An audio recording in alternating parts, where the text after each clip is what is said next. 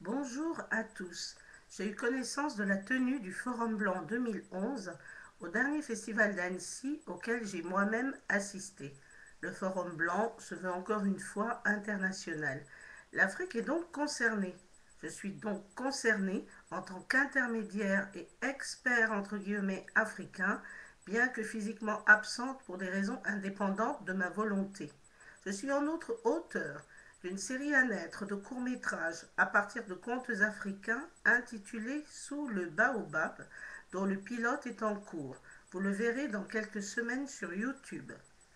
Je suis aussi auteur du style africain nommé style super kruma, style que j'énonce brièvement en faisant un parallèle avec le style japonais que voici. Depuis les ancêtres proches, les Japonais ont toujours été de grands dessinateurs, c'est culturel. La bande dessinée est un élément de la vie quotidienne de tout japonais.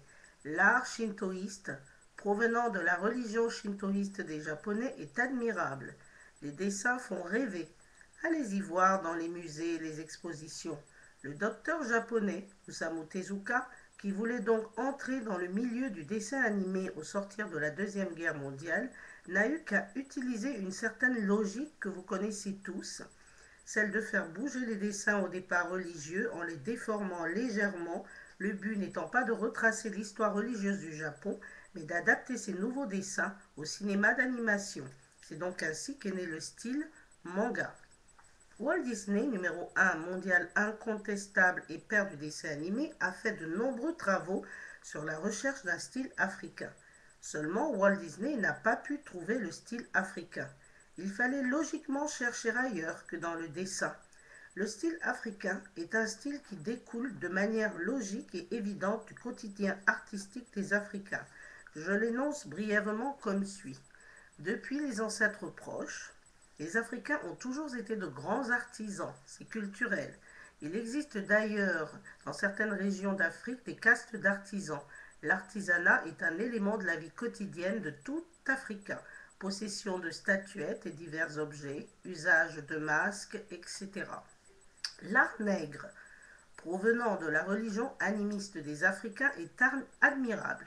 Les motifs font rêver. Allez-y voir dans les musées les expositions.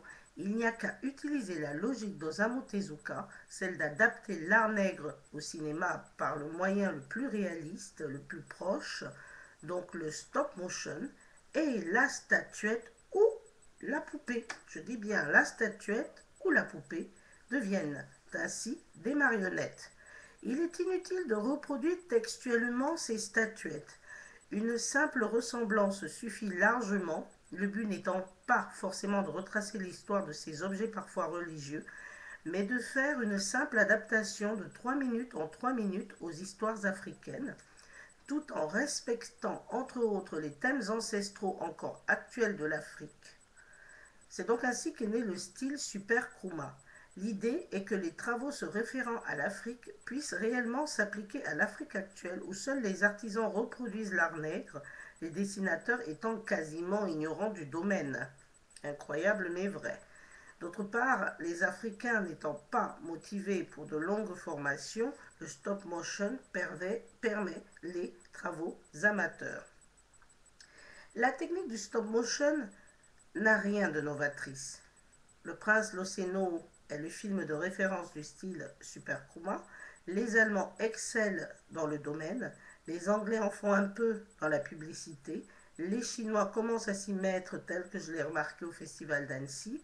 Je pense entre autres aussi aux films français tels que Oui Oui, Le Manège Enchanté, Pingui, Aglaé Sidonie, Chapi Chapeau. Je pense aussi à Fantastic Mr. Fox, et au film de Tim Burton. Cette technique adaptée aux histoires africaines est d'une originalité indéniable, vu le riche patrimoine culturel africain. Le stop motion a forcément des variantes qui naîtront au fur et à mesure de son utilisation. Des pays tels que le Brésil, les États-Unis, Cuba, la République dominicaine, etc., restent les premiers plus grands marchés que nous pourrions avoir compte tenu de leur histoire ancestrale commune avec celle de l'Afrique. Comptant beaucoup sur votre fibre artistique, j'insiste, sur votre côté international, j'insiste, Veuillez croire à ma profonde considération. Bon forum, au revoir.